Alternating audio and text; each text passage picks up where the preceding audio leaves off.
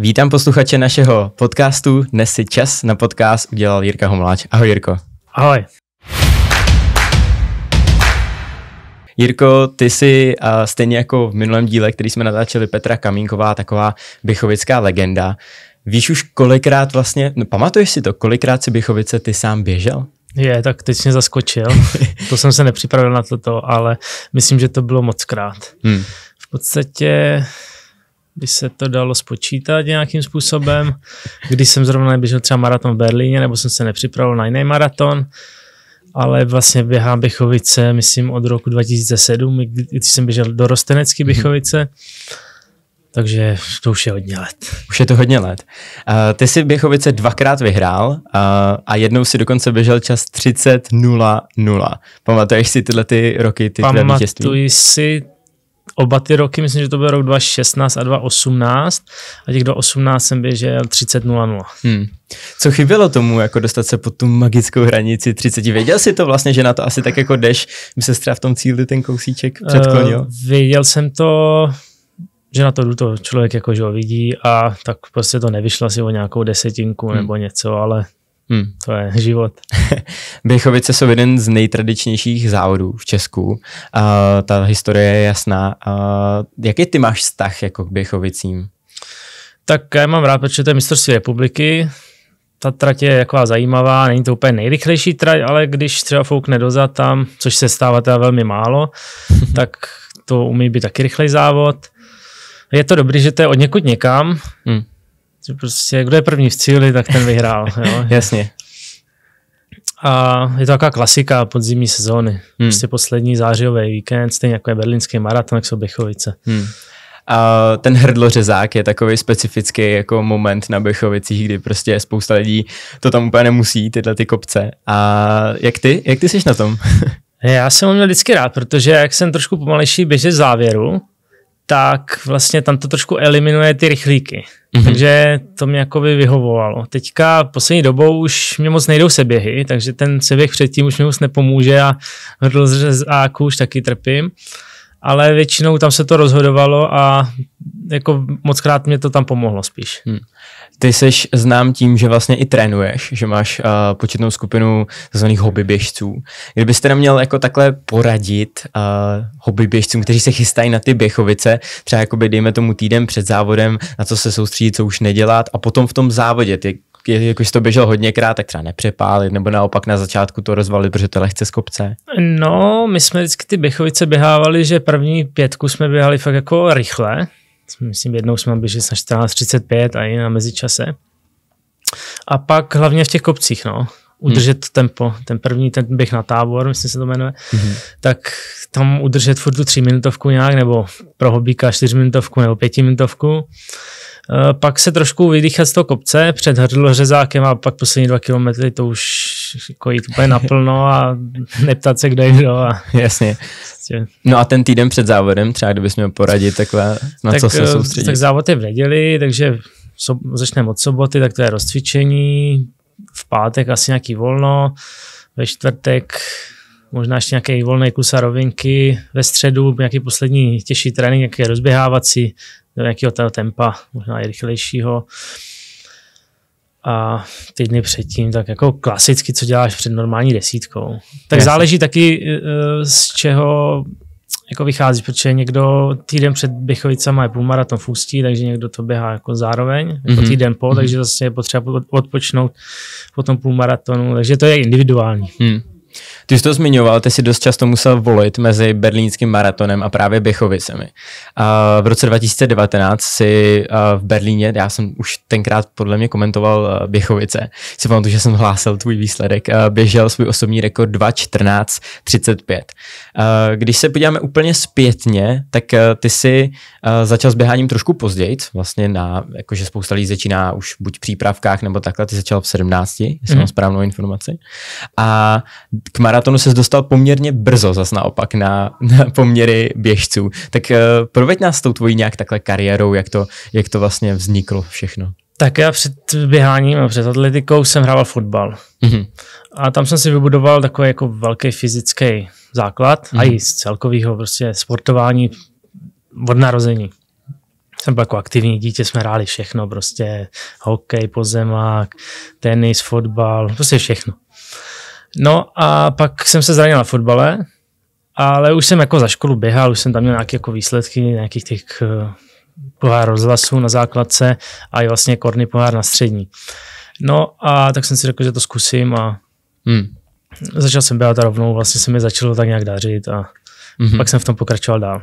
Ty jsi známý tím, že jsi v Brně trénoval pod uh, panem trenérem Sekventem, což je taková uh, česká trenérská legenda. Tak uh, vlastně vy jste byli taková taky skupina všeho chuti. Byl tam Honza Veleba, který trénoval sprint, byl tam ty, a jestli správně pamatuju, Milan Kocourek, mm-hmm. Lenka Masná. Tak uh, jak se vlastně koriguje takováhle jako skupina, kde vás trénuje tolik a na různé disciplíny? Tak když jsem tam přišel já, to bylo v roce 2019 až, tak uh, to Honza už tak trénoval spíš sám, občas mm-hmm. se na tréninku ukázal, ale uh, běhal jako v jiný časy nebo jinak. Já jsem spíš trénoval s Milanem Kocourkem a Lenka, myslím, taky víc byla už v Praze, mm-hmm. mám tušení, na Olympu a tak spíš tím Milanem, no. Ale jako na soustřední jsme jezdili spolu. Mm-hmm. A tak nějak se to vždycky skoordinovalo. No a jak přišlo k té myšlence, že teda jakoby nebudeš středotraťář, což je tady v Česku jaký spíš populárnější, nikomu se moc do těch delších pětka, desítka nechce, ale že rovnou to celý přeskočíš a půjdeš na maraton. Tak já jsem rád, když jsem začínal, tak jsem tak nějak se zkoušel trénovat sám, nebo to, tak jsem si vždycky jak přidával, co to tělo jako snese a vlastně jsem se k tomu tak jako nějak propracoval spíš k těm delším tratím, mm-hmm. ale jako samozřejmě i s tím Milanem, když jsme trénovali, tak on trénoval na 15 stovku svého času nebo tak, takže i to jako jsme trénovali, ale já furt jsem běhal, běhal, běhal, až vlastně to také na mě zbylo, ten maraton a, a chtěl jsem to zkusit a zkusil jsem to ve 22 letech, mm-hmm. myslím. A docela mě to šlo a tak už nějak jsem u toho jako zůstal. Hmm. No dejme tomu, že v, v naší éře uh, byl takový trend právě jakoby běhat spíš nejdřív být rychlej a pak být vytrvalej. A teď mně přijde, že přichází takový naopak jako trend, že uh, docela už ty běžci spíš nabíhají i v mladém věku, docela to nese ovoce, ale i na 15 třeba dejme tomu, když vidíme Nilse Larose nebo další, jako Ingebrigtsen, tady leti, tak tam to jde přes objem, tak máš pocit, že teďka uh, je už to myšlení trošku posunutý v tom, že v těch 22 ti lidi asi říkali spíš, co blázníš, běhej spíš dráhu, zrychli se. Takhle, jo, jo, asi to říkali, ale hmm. my jsme fakt jako na dráze trénovali, my jsme byli třikrát týdně na dráze a hmm jako když se podívám zpětně na ty deníky tréninkové, tak jako ty tempa, si říkám, tyjo, jak jsem to vůbec mohl zaběhnout, jo. To, to jsme, já jsem i třeba Milan vydělal vodiče tam, jako, že on byl třeba kilák, já mu šestistovku, ale to bylo jako tempa, to mm-hmm. si říkám, tyjo, teď bych měl problém jednu zaběhnout, jo. Takže jako ty tempa jsem naběhával, jen jsem prostě ty tratě neběhal pak v závodě, mm-hmm. jo jako říkají mi, že jsem měl pomalu 15 stovku, mám 3,56, ale v podstatě jsem to jako byl schopen dát, ne kdykoliv, jo, ale kolem těch 4 minut, jo, když jsem měl nějakou formu, jak jsem to jako byl schopen dát. No. A myslím si, že to je individuální a jak ta hlava je nastavená, že někdo to nesnese prostě ty objemy. A já jsem to prostě snesl, já jsem byl takový jako nechci pracovitější nebo mm-hmm. tady v tomhle, takže mi to nedělalo problémy tam, já nevím, jsem měl jít 15 krát kilák, já jsem šel 15 krát kilák, jo, ale jako to bylo hmm. výjimečně, jo, ale někdo, někomu řekl 15 krát kilák a on by dva dny nespal, mi to bylo jedno, já jsem to odběhl a hotovo. jo, takže hmm. to si myslím, že to je o tom mentálním nastavení jenom. Hmm, hmm. Uh, potom, když se posuneme, tak ty si začal trénovat s Robertem Števkem, další legenda československého běhání. Uh, tam byl nějaký posun oproti tomu? Tam to jsou vlastně ty roky, kdy ty jsi pak běhal nejlíp ty osobáky na půlmaraton a maraton, ne? Mám mm-hmm. Tak v čem tam pak byl posun třeba v tréninku? Je to tak, eh, byl tam změna vlastně toho celého tréninkového systému, že v předchozím tam jsme běhali spíš tak jako intervaly, mi přišlo a tady se zařadili i tempové běhy, víc jsme i běhali kopce a i to bylo možná méně náročnější, hmm. jo, zpětně, když to jako vyhodnotím, jsem si říkal, tyjo, tady jsem skoro nic jako nenabě, nebo ne, nebylo to tak ostrý, a, hmm. ale výsledky byly lepší, hmm. jo. Tak v tom byl ten rozdíl, no. Jo, jo. A mělo to, větší takovou soustavnost, jo? že se postupovalo postupně od někud někam, i hmm. přesto, že tam byl třeba nějaký závod, tak to nebylo jako, že loop, tam je závod, tam, tam, tam bylo to takový jako soustavný a mělo to směr a cíl k tomu jako důležitému závodu. Hmm. teďka ještě spolupracuješ s Robertem, nebo teďka, jak, jak to teďka vlastně máš? Takhle, teď od ledna se jako trénuju úplně sám, už jako teď možná i ten poslední rok jsem občas tam uh, se tak jako trénoval sám, ale jakože spolupracujeme spolu, že pořádáme běžecký kempy pro hobíky a furt jsme jako v kontaktu, není to jako, že by... Jasně. Jenom, že už jako jsou takový starší a potřebu, jak cítím to tělo, jak se vyspím, tak mm-hmm. podle toho trénuju teďka. No, Robo taky rád běhal docela Běchovice, má tam taky docela dobrý časy, dejme tomu. Uh, tak eh, byl i proto, aby právě se jako tam ty Běchovice zařadil do té, dejme tomu i přípravy závodní sezony. Uh, já jsem běhal i předtím, mm-hmm. Ale vlastně teď mě napadá, že jak jsem to vyhrál poprvé, tak to jsem zrovna u něho trénoval dva měsíce, tři měsíce a úplně vlastně to, že on to dřív vyhrával a prostě byl takový, no je prostě jako nejlepší na těch Běchovicích je to persona, asi. No. no. Tak vlastně mě to možná i vnitřně tak jako uklidnilo, že jsem mi pak vyhrál jako taky díky hmm. tomu. Jo. Měl tam pro tebe nějaký specifický rady třeba? Nebo... Jo, tak řekl mi, jak to mám rozběhnout různě ten závod a tak jsem se podle toho nějak řídil a neměl jsem čas přemýšlet na něčím jiným a vyšlo to. No, ty jsi takový obojživelník, ty vlastně, já co si pamatuju, vlastně když jsme spolu vždycky závodili, tak uh, to byly ty extraligy a takhle, a ty jsi tam šel patnáctku, pětku, štafetu a druhý den jsme tě viděli na Birelu nebo na Běchovicích nebo prostě na, na, na jakýmkoliv závodě dalším, tak ty se, ty, ty se nešetříš takhle hodně. Uh, takhle, to plyne z toho, že jak mám naběhaný, nebo ten objem, takže mě ten organismus možná nepustí úplně do toho maxima, jak někdo prostě dá jeden závod a je z toho hotový týden, 14 dní, nebo pak nemůže jít závod. Hmm. Já zase jako, mě to nepustí do maxima, ale mi přijde, že mě to jako nic nedělá v mhm. podstatě. Hmm. I když jako tam dám to maximum, tak jako v, ten, v tu chvíli, tak jako pak hmm. za dva dny jsem dobrý. No. Jo. Že mám jako lepší regeneraci tím, že to tělo už sneslo takovou zátěž za ten život, že jako samozřejmě, když člověk stárne, tak cítím, že je to jako trochu horší, ale, ale jako obecně předtím, tak mě to jako nedělal problém. Hmm. Uh, o tom samozřejmě svědčí i tvých pokud jsem správně spočítal, 14 mistrovských titulů uh, v dospělé kategorii, kdy vlastně ty dokážeš kombinovat přes Polák, uh, běhy do vrchu tam snad byly dokonce, tak, tam, byl, tam máš i mezinárodní účasti, to samý na mistrovství Evropy v krose, byl si dvakrát na mistrovství Evropy v půlmaratonu, pokud správně počítám v Mnichově a v Amsterdamu. Jo, tam byl maraton v Mnichově. Okay, ale, jo, jo, jo, v Amsterdamu tak, byl půlmaraton. Jo, jo, jo, se střídá. Jasně, střídá se to vlastně, když je olympijská sezóna, je půlmaraton, když je neolympijská uh, mistrovství Evropy, jo. tak je maraton. Jo, jo. Uh, takže máš za sebou takovouhle bohatou kariéru. Kam teďka ty vlastně cílíš celkově eh, zbytek ještě sil a nějaké další cíle? Tak vlastně a jak jsem teďka se začal trénovat sám, tak to byla i z toho důvod, že se tím během chci už tak nějak jako bavit. Hmm. Už nechci mít takový tlak na výkon, jak jsem předtím honil ty limity různý, na ty olympiády se to nepovedlo, jo, a člověk jako se připravuje tři měsíce, z toho nechci ve stresu, ale jo, pak se to třeba nepovede, jo, nebo mhm, něco, hmm tak už nechci ten tlak jako na sebe mít takový a už fakt jako stanu a asi třeba v tom lednu jsem to měl tak, že jsem se rozkusal a v během toho rozkusu jsem si říkal, co to je pro za trénink, jako jo, že jak jsem se cítil, tak, ale zase je to jako možná lepší ještě varianta, že to člověk aspoň vyhodnotí aktuálně, jo, než když to má na papíře a teďka to třeba musí jako splnit a teď to třeba by nešlo, nebo hmm, hmm. Jo, tak tak teď už říkám spíš, že tím během si chci bavit. Ale samozřejmě chci se furt udržet na nějaké té vyšší, vyšší výkonnostní úrovni. Mm-hmm. Když teda podívám na tvoje jako tři, dejme tomu největší jako osobní rekordy, jak to je maraton, jaký jsem zmiňoval, 2.14.35, půlmaraton hodina 3.23 a desítka 29.35. Tak který z nich podle tebe je ten nejhodnotnější? Já si osobně mám nejradši ten půlmaraton, mm-hmm. ale věřím, že vlastně všechny tři se dali překonat, nebo že jsi měl třeba, lepší třeba, ještě třeba. třeba, že překonám, ale jo. to bych se musel asi hodně kousnout. no, když uh, se, dejme tomu, dostaneme k přípravě k těmhle těm vlastně závodům, jak ty jsi k tomu došel, tak ty jsi takový první, jakoby, ne, ne první úplně, ale jeden z prvních průkopníků trénování v Keni. Ty jsi byl jeden mm-hmm. z těch prvních jako fakt dobrých běžců v Česku, kteří tam uh, jeli trénovat a nebylo to na, na týden, na dva, ale byl jsi tam jako dlouhou dobu. Tak mm-hmm. jak ses k tomu dostal vlastně, pro, proč ta Kenia zrovna? Takhle, uh, my jsme dřív jezdili do Melága, do Livíňa, do Maroka, kde jsme všude byli, prostě do Tater, Krkonoše. No a vlastně v roce 2015 jsem dokončil vysokou školu. A tak jsem si říkal, co teď, jako jestli nastoupit cestu, že půjdu do práce, anebo se budu snažit být jako běžcem na plný úvazek.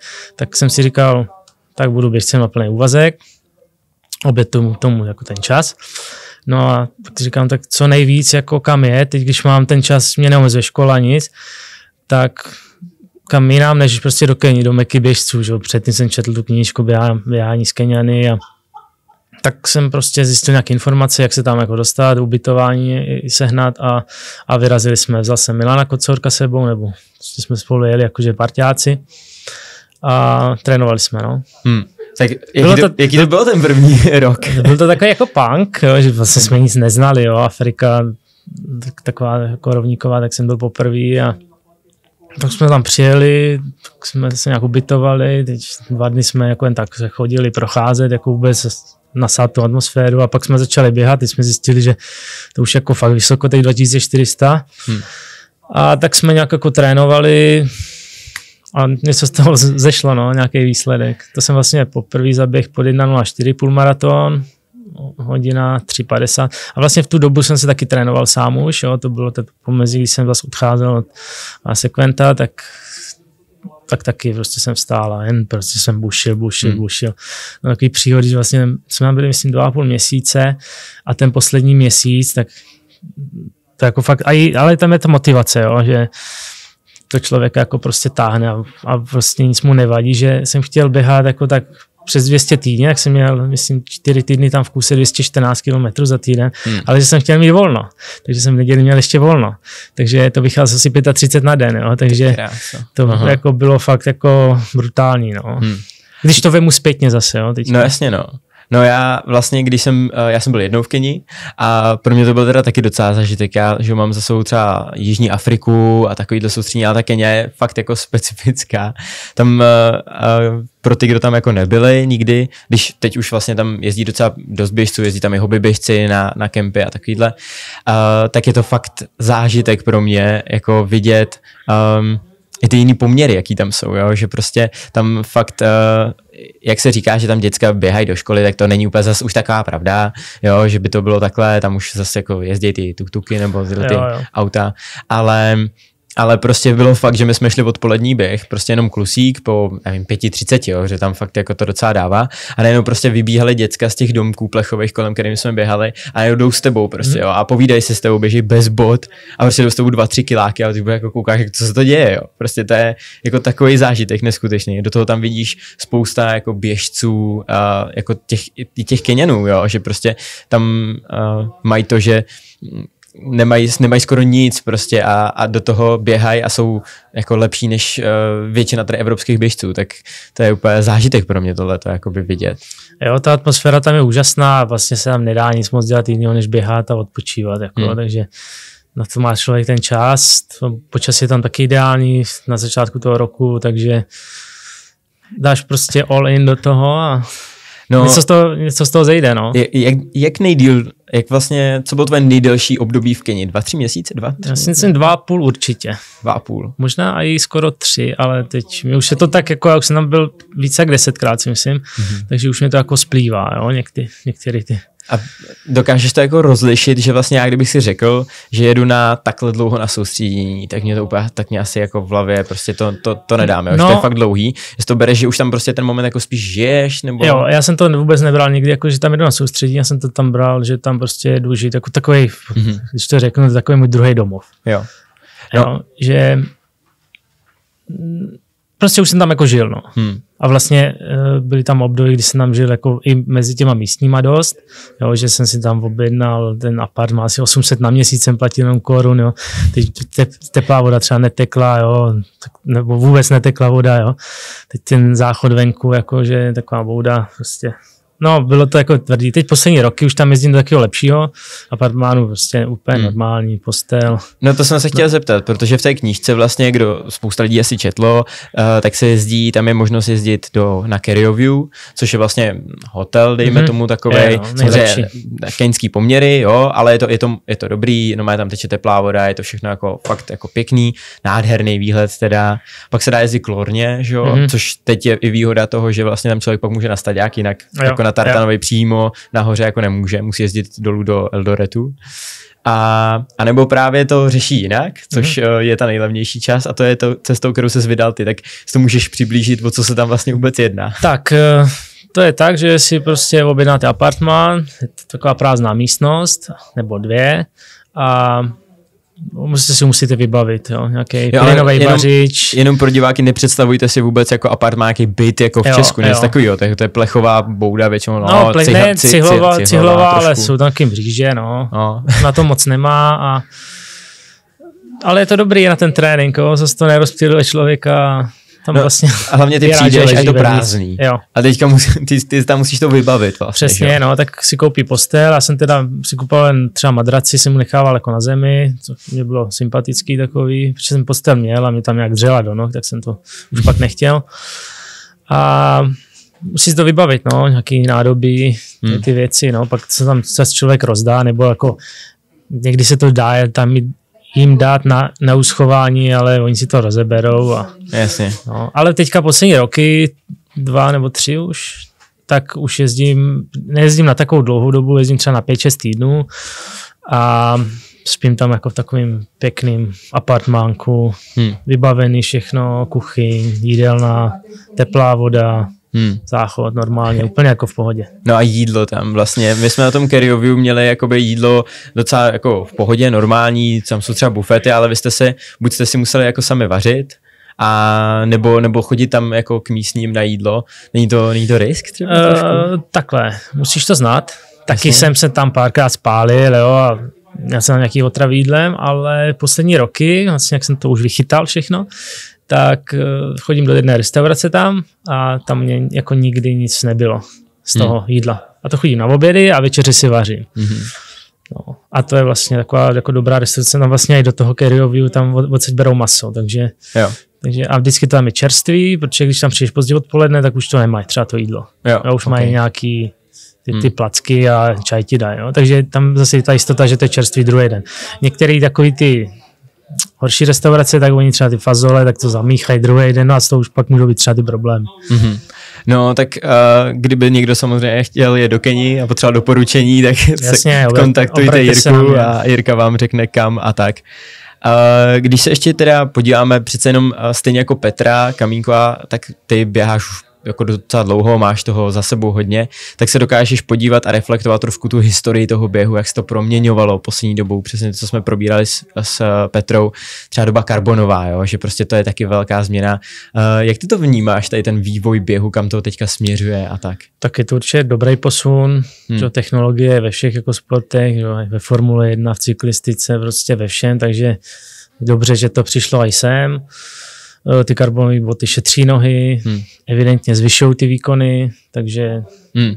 Sledoval jsi třeba teďka olympiádu, jakoby běhy tam, maraton jo, a tohle? Jo, jo, díval jsem se. Co, co jsi říkal na, tu, na ten maraton, vlastně třeba i na tu trať? Docela náročná, ne? Jo, bylo to kopcovitý, ale vlastně ty časy pak nakonec běžely jako v podstatě dobrý, no, hmm. na tom.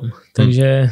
ale ono někdy taky, jo, jsou kopcovitější tratě a je to, je to jako lepší pro to běhání, než je, jak, jasně, jak co? Jasně, jasně, Já chápu. třeba osobně, tak v Ústí nad Labem, tam taky není úplně rovinatá tráť, je tam takový kopec na půlmaraton, ale mám tam jako jedny z nejlepších časů, jo, což hmm. taky jako zajímavý. A Běchovice, i když je to kopcovitý, tak i těch 30 jsem tam běžel, i, no, i když jasně, na rovině jsem běžel o trošku líp možná. No. Hmm, hmm. No je to zajímavý, minimálně ten jako olympijský maraton, že tam dají takovýhle kopec, bylo docela specifikum takový a Uh, ty vlastně dokážeš i porovnat třeba ty poměry v té Keni, kdy tam se připravují jako běžci na, na olympiádu, ty nejlepší. Viděl jsi třeba Eliuta Kipčugeho trénovat takhle? Uh, trénovat jsem neviděl, ale na závodech jsem tam potkal, mám s ním fotku kdysi dávno, hmm. i na Instagramu mě sleduje. jo, to wow. má, málo ko. Hezky. A vlastně v té Keni, tak oni jsou na to zvyklí, protože tam je to furt nahoru dolů. Mm-hmm. Když nejdeš nějaký tempáč, tam kousek dál, jako, jo, takže, takže vlastně i v té Etiopii to bude podobný. Mm. Takže oni na to jsou na to zvyklí, takže to tělo je připravené na to nahoru důl, proto možná jim to pak jako sedělo. Jo. Sledoval si vlastně i v Paříži také, dejme tomu, lehké loučení dvou legend, uh, Eliud a, a Bekele. To bylo taky taky jako docela pěkný, uh, že končí taká jedna vlastně generace a další asi bude nějak nastupovat. Uh, 2.08 limit do Paříže na maraton. To je uh, to je docela šílený. A 2.06 snad 30? 30, no, ty bude na mistrovství to bude světa, na no. mistrovství světa, tyjo, to je... Tak už si to nechám těm mladým. Asi to necháš. Uh, no to jako už bude asi pro ty mladíky, no dejme tomu, ale jakoby má vůbec Evropan, když to nebude nějaký úplně jako ujetej, uh, jako Evro, jako fakt Evropán má, má vůbec šanci běžet takovýhle po Tak 2.06? Jsou takový, no. Jsou dva, dva, tři Britové, jako no, dva. No. No, nějak, Tak možná mus- francouz jeden. Musí být super talentovaný asi Hmm. a mít tam jako asi úplně všechno, no. Mm, takže je možný, že... A tak ty- oni to budou dobírat podle toho žebříčku, takže to Jo. zas asi bude furt tak nějak jako na stejno, se motat kolem možná těch teď, kolik těch 2.8, tak Hmm. ti se tam dostanou ještě. OK. Uh, natáčíme před Běchovicema, takže poběžíš, doufejme, doufejme Běchovice. A co tě potom Mám čeká, kde tě, kde tě lidi pak ještě můžou vidět, ať uh, se můžou na tebe těšit? Tak já asi budu závodit celý září říjen, takže jak to bude postupně vycházet, tak. Dobře. tak, tak budu běhat Takže asi každý víkend. Teďka si sorry. udělám taky závodní období. Sledujte Jirku na Instagramu a dozvíte se všechno potřebný. Kdyby chtěli s tebou trénovat, protože ty máš běžeckou tréninkovou skupinu, píšeš tréninky i na dálku jako plány, nebo jenom uh, čistě jakoby trénuješ ty, který potkáváš? Takhle uh, píšu online tréninky, Mhm. víceméně, a, ale dělám i individuální tréninky, anebo může už jet s náma na běžecký kempy pro hobby běžce. Uh, tyhle ty kempy vy je pořádáte s Robem Števkem, jak Mhm. jsme se bavili. To je dvakrát do roka jsem snad viděl, třikrát? No, různě je to tak třeba třikrát, čtyřikrát, pětkrát, no. OK. A kam vlastně jako jezdíte tak? Já vím, že jednou byly Tatry, nějaký jezerky tam snad. Jo, ne? jo, jo, třeba do Bedřichova, do Jizerských hor, do Tater, pak tam u Brna na kaskádu, Mhm. mm-hmm. máme vždycky v létě, nebo na Vysočinu jsme jezdívali. A to je na víkend většinou, ne? Jo, nebo prodloužený víkend, čtvrtek až neděla a takhle Ok. různě, no. No tak kdyby se samozřejmě chtěli někdo přidat Tak tady. ať mě kontaktujou. Přesně tak, sledujte Jirku na Instagramu a všechno se dozvíte. Jirko, já ti moc děkuji za super Díky. popovídání, budu držet palce, ať ti vyjde dal, Díky. další zbytek sezony a doufám, že se s někde uslyšíme. Díky, Měj se mějte se hezky. krásně, běhejte. Tak jo, ahoj. Čau.